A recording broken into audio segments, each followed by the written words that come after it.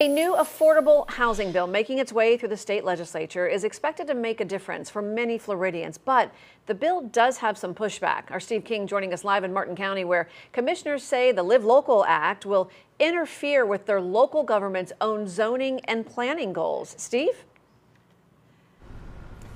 Tiffany, will some commissioners here in Martin County held a news conference along with the mayor of Stuart here at the Martin County Administrative Building where they said that the new Live Local Act undermines home rule, especially for the least populated counties in the state. Now, Commissioner Ed Ciampi says that among the problems are it could prevent local governments from imposing height restrictions on buildings and it could cost tax revenue. He says they're in favor of affordable housing, but they think that this new bill doesn't provide enough local control. Now, do we want to participate in housing options? Of course we do. But do we need them to be very specific to what the legislature might say is the best strategy for us? I think that goes to the definition of us losing home rule.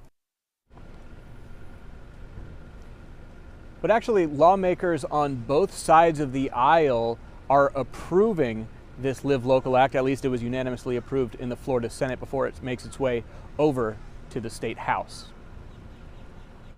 The Live Local Act has several components, many of which state lawmakers are in agreement will help Floridians moving forward.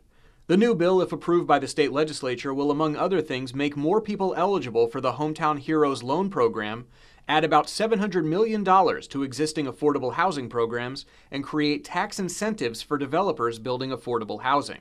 In essence, we're, we're trying to take some of the most aggressive uh, and bold affordable housing initiatives uh, that, that we've ever seen here in the state of Florida. And so that's where uh, that work is beginning right now. Something like a thousand people are moving here a day, and we have to have housing for them, and we have to have housing for the people, the workers, in order for our economy to flourish. And so this is a really big first step.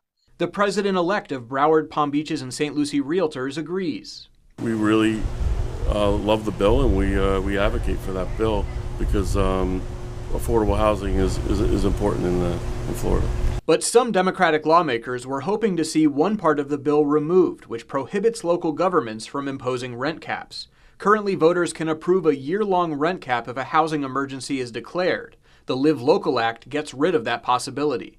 When I voted for the bill, I, I mentioned it and I said, I'm not going to let perfect be the enemy of good. So I supported the bill, but I am disappointed Now, if the Live Local Act is approved, it becomes law on July 1st. Reporting live in Stuart, Steve King, WPBF 25 News.